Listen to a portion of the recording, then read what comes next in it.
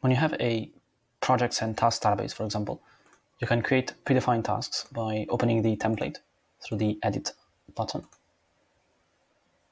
Then down here, in this example, I use the slash command followed by button, create new button.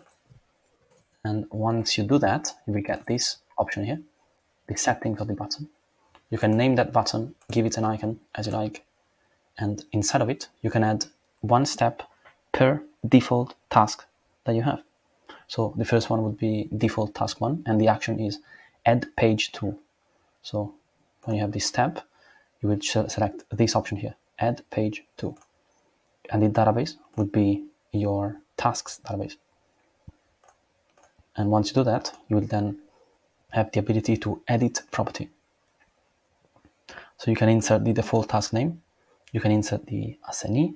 Importantly, you want to insert the project relation and you want to select project, that's the relation property in the tasks database, related to this page.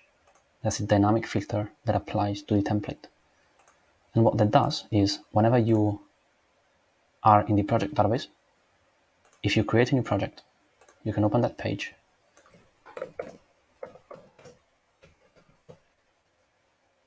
then click this button and those tasks are created automatically for you and they are automatically linked to that correct project. So you can try this new feature in Notion, Notion buttons to create default tasks for your projects or whatever default components you want to have for your system.